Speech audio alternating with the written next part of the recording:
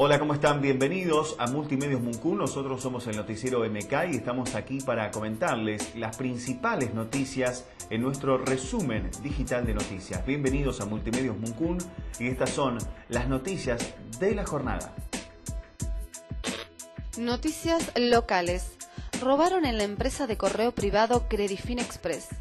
Nos cuenta todo lo ocurrido su dueño Mariano Charca. Hoy nos llamaron a 7 y media de la mañana informándonos que habían ingresado a nuestra oficina y entramos, nos desayunamos con, todo esto, un, desastre. Nos robaron, ingresaron por el fondo de, la casa. Eh, y bueno, la verdad, malísimamente mal. ¿Qué cosas te han faltado? Y cosas básicas como lo que es computadoras, equipo de música, cafetera, este, al margen de toda la mercadería de nuestros clientes. ¿A vos te preocupaba más el problema de cómo queda la empresa luego de este robo que la mercadería que está asegurada? Tal cual, la mercadería, o sea, lo que tiene seguro está todo cubierto, este, pero nosotros somos una empresa nueva, hace tres meses que la venimos remando, somos un matrimonio de gente joven eh, y la verdad que cuesta mucho, no sé, no sé qué vamos a hacer. Anoche hubo destrozos en el Paseo La Movediza. Escuchamos el informe de nuestro cronista Germán Olivera.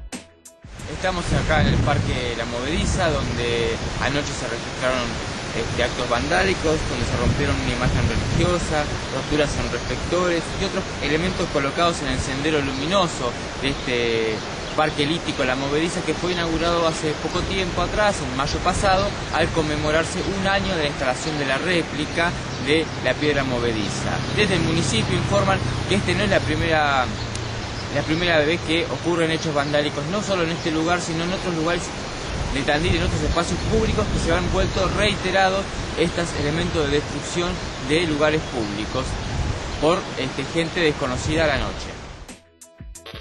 Mañana comienza la quinta fiesta del postre en la localidad de Balcarce. Su director de turismo, Jorge Poggioli, nos da detalles del evento. Mañana comienza nuestra, nuestra fiesta, nuestra quinta edición de Fiesta Nacional, fiesta Nacional del Postre. Eh, nosotros tenemos fortalezas que son el automovilismo, ustedes saben, eh, la papa, está muy ligada a Balcarce, y, y, el postre también forma parte de nuestras fortalezas. Eh, lo que tenemos mañana es una edición ya agrandada, digamos, que hacemos en el rural, eh, se hace los días 8, 9 y 10. Eh, viernes y sábado lo hacemos de 15 a 21 y el domingo lo hacemos de 10 de la mañana a 20 lo que tenemos, las actividades que tenemos son bastante cocina en vivo. Eh, viene Rocío Espinillo, que es una chef internacional que trabaja en Utilísima, a, cocinar en vivo con nosotros. Viene Martiniano Molina, que es conocido también. Noticias nacionales. Miles de fieles en la misa de San Cayetano. Apostados en dos filas de más de 25 cuadras, los fieles seguían ingresando al santuario de Liniers, donde el arzobispo de Buenos Aires, Jorge Bergoglio, oficia la misa. Las puertas fueron abiertas a la medianoche. Recién asumido, Bauer dijo que quiere que uno sienta orgullo de Canal 7.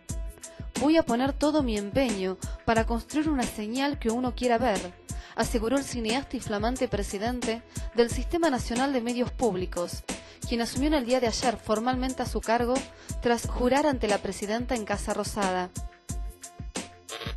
Noticias internacionales. Con un gol sobre el final y una actuación deslucida, Argentina venció 2 a 1 a Costa de Marfil. El seleccionado argentino de fútbol jugó mal, pero al final pudo vencer a Costa de Marfil 2 a 1 en un partido correspondiente al Grupo A de los Juegos Olímpicos de Beijing 2008. Morgan Freeman mostró leves mejoras, pero continúa en el hospital. El actor estadounidense sigue internado con varios huesos rotos tras sufrir un accidente de automóvil cerca del rancho en el que vive con su esposa en el estado de Mississippi. Pero según un amigo se encuentra mejor, informó la CNN. Bueno, muy bien, esta fue toda la información en nuestro resumen digital de noticias, las principales del día de hoy a nivel local, nacional e internacional. Nos vamos a reencontrar mañana con mucha más información. Recordamos que pueden escribirnos a través de nuestro correo electrónico consultas.muncun.info. Muchas gracias y será hasta mañana con más información aquí en nuestro resumen.